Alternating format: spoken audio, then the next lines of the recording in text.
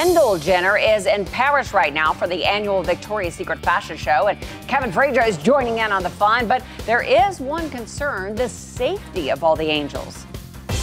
Going out and you're taking pictures at the Eiffel Tower, clearly people will start to lose their minds. How do you handle all the other people? You're gonna have to protect us. Thank goodness there's real security on here.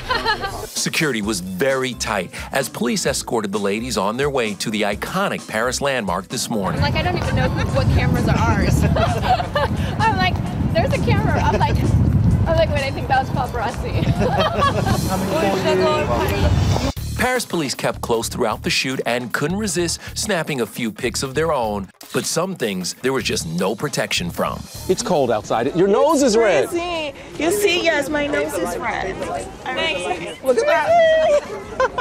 but it's beautiful. I mean, just to watch the sunrise here It is crazy. at the Eiffel Tower is unbelievable.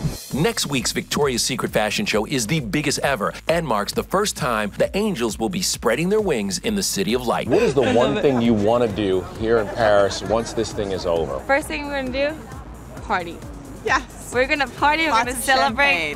One, two, three.